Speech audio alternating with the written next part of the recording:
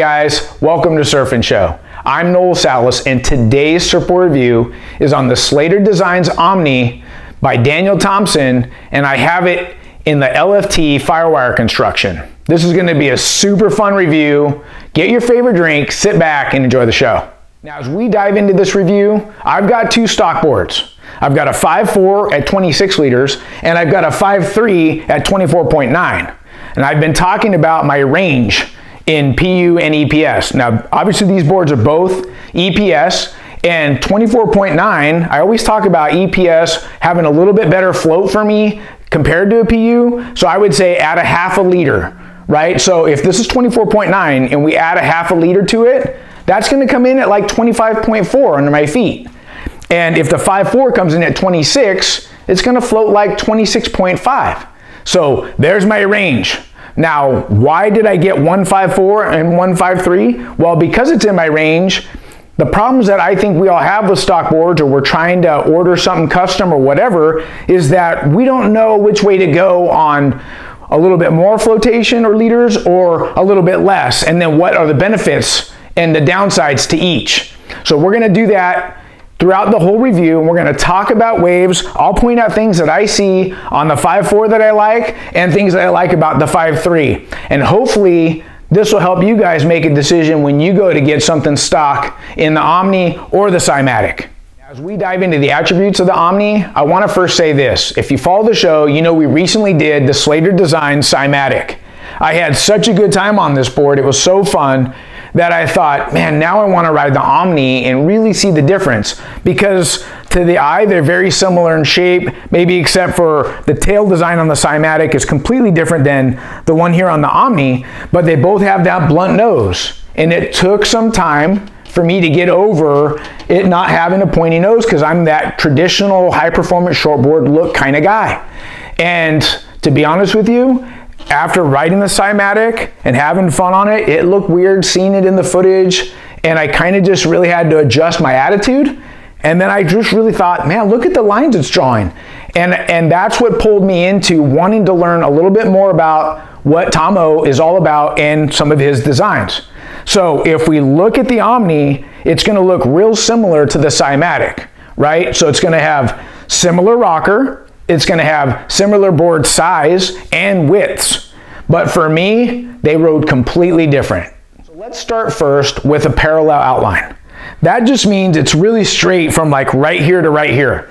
Before we dive into Tomo's concept and what he's doing on the Omni, let's first talk about a high performance shortboard that has maybe 5'9 pointed nose that's got a really straight rail line like this.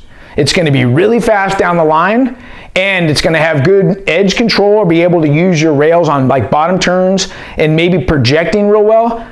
But the struggle for me on boards like that is they don't want to get in the lip real quick. So how does Tomo offset that with his parallel outline? He makes them shorter. And with it being 5'4", I have the rail line of like a 5'9", but I have the ability to get it in the pocket and do the turns I want to do in smaller waves because it's 5'4". Now, the other thing I want to mention is as we look at the tail back here, it's got a nice round tail. And what is a round tail in general going to do for me, right? Well, a round tail is going to have more surface area so I can get that lift and keep the board with some um, drive and nice and loose. And because it's a round tail, the water is adhering to curves the entire time. It might break a little bit back here at the center, but for the most part, this board is supposed to gain speed and hold speed through your turns. So now I want to talk about the rocker in both the Omni and the Cymatic. Now, as I hold the board up here, let's look at it. We've got a medium entry rocker here. I know that this is continuous and because it's continuous, it's going to give us great traction. It's going to need a wave with more curve. Now, this board can surf in that two to three foot range, but it wants that wave to be kind of steep. So I wouldn't call this a groveler, even though it has that blunt nose and we kind of think that, oh, blunt small boards are better for small waves. Not the case with this one, but let's look at the exit rocker. It's also got a medium exit rocker. And what's important about that is this board was designed to surf like a high performance shortboard. And I could feel the traction and the looseness and responsiveness of the board because of the continuous rocker.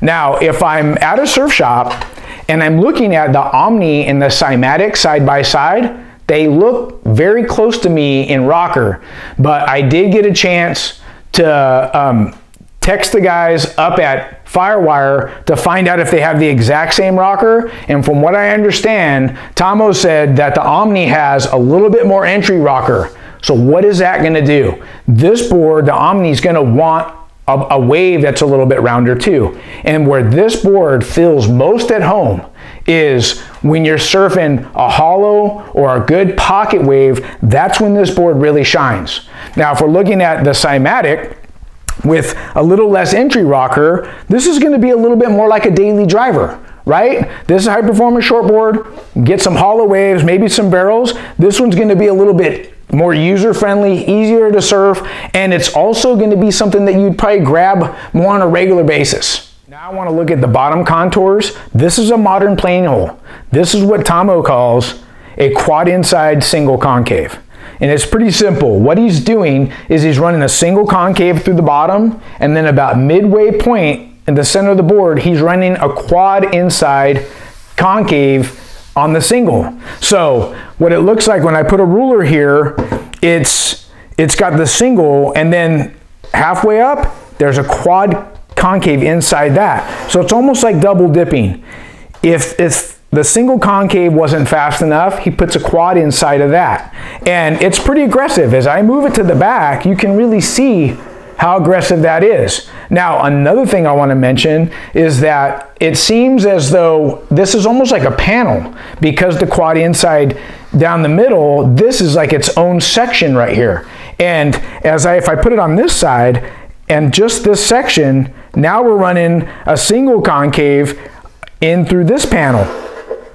And the idea behind that is it's got this happening here. And so it's kind of cupped the rail and that's really going to give you the traction. Now, because of the round tail and the speed from the concaves on this modern planing hull design, I'm getting a lot of speed, and what I like about these boards is that I'm getting the traction and the hold I'm looking for, whether I'm racing down the line and I want to hit a big carve, or if I'm coming off the bottom and trying to set up a big turn, it's got the hold that I'm looking for. Now, the other thing I want to mention that's a little different on the Omni compared to the Cymatic is on the Cymatic, since it has that double bat tail and it's wider, it's almost like it has four channels out the back that are more pronounced than I would say you would feel on the Omni with the round tail. Now, both boards are equally as fast. I feel like maybe the round tail has a little bit more hold and traction, so they both have a completely different feel, but the Omni felt good too. Now I want to talk about the fins I chose in the FCS2 range. The waves were more four to six foot surf. It was a little bit bigger, so I started with a thruster. And I chose the Al Merrick fin large template because I'm looking for the depth on the large to give me a little bit more hold. I've got the sweep that I'm looking for, a lot of rake so I can really lay into some carves. And the Performance Core has a medium flex pattern, so it's stiff enough where I got control in my turns and I have confidence. Now, the other thing I like about the Al Merrick fin is because it has so much rake, I feel like it'll tighten the board up a little bit. Because I have a round tail and it feels loose, and it's 5'4 and it's real short, I can turn it real fast already. So what I'm really looking for is control, especially in the bigger surf, and it felt great. I had that center fin to pivot off of, and at no time did I ever felt like I didn't have enough board or like it wasn't holding for me. It felt great. Now, as the waves jumped down to like that two to four foot surf, I wanted maybe a little bit more speed since this board has that continuous rocker. I'm trying to offset that with maybe a um, the quad setup's going to be a bit faster than the thruster, and I chose the performers with the performance core carbon fin because I'm going to push really hard on this and I wanted a little bit more um, stability in the fin and this is also the same setup I ran in the Cymatic. So I'm really trying to compare the two and I wanted to keep it fair but this fin has less rake a little bit more upright so I can pivot it faster. And that was another thing I was trying to do is I ran the medium performance core quad rears and what I was looking for with a more neutral fin is since I have a round tail, but by design, it wants to turn more round and carvy. I needed to change out of a fin that wants to carve and try and get something more upright to see if I could manipulate that tail to get this board vertical in the pocket a little bit faster. And to be honest with you, on the Omni, I really felt like that was one of the things this board struggled in. Now, I'm just not talking about small surf. I'm talking about the design of the tail and the board wanting to go straight up in sections. I felt like it always wanted to come in like an angle and wanted to lay big carves. That's what I really felt the one of the major differences between the Omni and the Cymatic. Now I want to talk about the fins I ran in the futures lineup.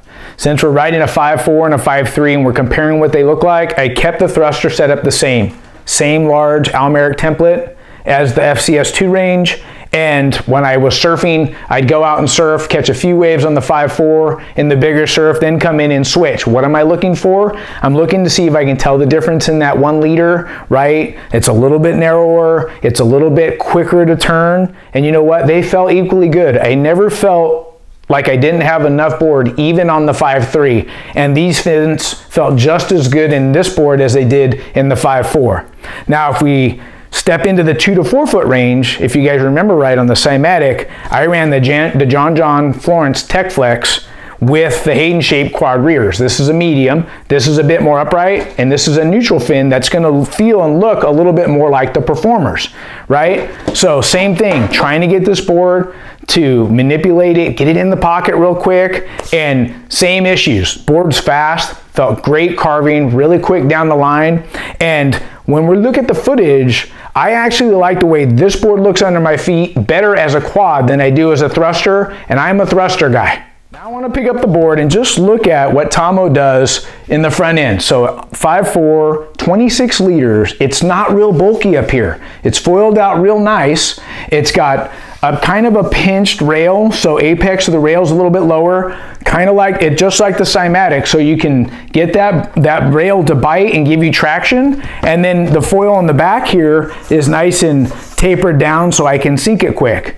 And one of the things that I want to mention is at 5'4", 26 liters, it didn't feel like I had an extra leader when I was paddling. So I'm out there in a crowd of 40, 50 guys battling for waves the 5.4 paddled good. I didn't feel like it was bulky up here. Because it's not bulky with all the foam, it doesn't mess with swing weight. So going a little bit bigger on the 5.4 felt fine, especially under my feet. Now, if we're gonna talk about the 5.3, it didn't feel like I was missing that liter of, of foam. I feel still felt like I could paddle just as good, but these are some of the questions we ask ourselves, should I go 5'4", should I go 5'3", right? And I think that take the bigger one of the two and not worry about it feeling like too big of a board. And that's exactly how it felt under my feet. The 5.4 felt just as good as the 5.3. But I will say this, they don't look the same on video, and we're gonna talk about that as we look at some waves together. Now, before we look at some waves together, I want you to remember that the Omni has a little more entry rocker than the Cymatic does. And we're gonna see what it looks like when my feet are in position and what the board looks like to my eye when I'm surfing it, number one. But I think one of the most important things for me on the Omni is I mentioned it when, when I'm talking about fins that because it's a round tail and there's no break for the, there's no place to pivot off of, right? And there's no break as water adheres to curves, this board wants to surf more diagonal. It doesn't want to go vertical. Now I'm not saying it won't, I'm saying that it's very difficult for me to get it off the bottom, straight up into the pocket. I'm talking going 12 o'clock. I felt like there was a problem there for me because of the tail design, not because of the board design. Now, the other thing I felt was different about the round tail compared to the Cymatic is that as a thruster and quad, for me to get this board to do exactly what I wanted to, I had to have my foot right up over the third fin. And the further back I went, the more I could manipulate this board and get to do what I wanted. So I feel like this round tail really dictates or surfs better for someone who surfs off their back foot right? Now, let's look at the cymatic. It has the flyer of the wing here, right? This acts as a pivot point.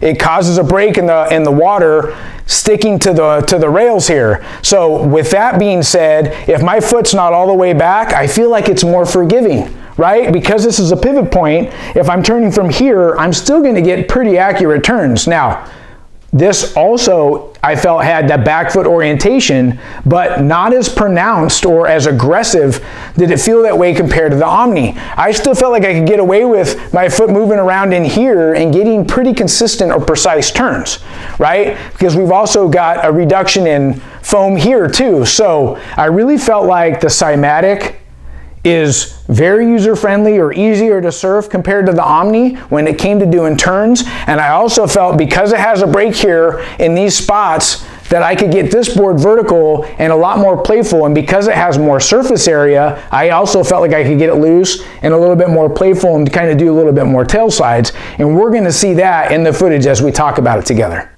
So let's look at some waves together. This is a thruster on the 5.4, nice steep wave. Good rail to rail turns, board felt great. Now this is a bigger wave, still a thruster here, able to come off the bottom and stick the turn with good spray there. Now this is a quad, it's a little bit smaller wave. I, you know what I like is I don't have to work hard for speed, just a little pump here and there, nice spray, another pump right there, able to finish this wave strong. Now this is a quad, a little bit smaller wave, Pretty good turn right there, getting a little bit of release on the fins, but now the board looks a little bit big to me. On the bigger surf, you see this, nice thruster, board's holding real good, but right here I kind of get stuck at the top. I know wave goes flat, but I feel like it's the board's a little bit big when I look at it. And here, just a quad, couple good turns, felt good. So let's look at the 5.3. Now this is a quad setup. It looks like the board's kind of bogging a little bit. That's because my front foot is a little in front of the sweet spot. So that's one of the things when you get a real short board, when you're not on the sweet spot, it really it really shows you where you're off. But as I get more waves on this board, it's got a little extra spice to it. Like it can turn it faster. See, that was a good turn right there. Now this is a thruster, a little bit bigger wave. Watch the board just explode off this last section. See the pop right there? I couldn't get that out of the 5.4. I like these turns right here, just linking it together real nice. The steeper the wave, the better this board goes. Look at the speed here. Round tail holding its speed through that roundhouse real well. Now look at the board here. Quad, getting a little playful. Boom. That's what it likes. Steep sections.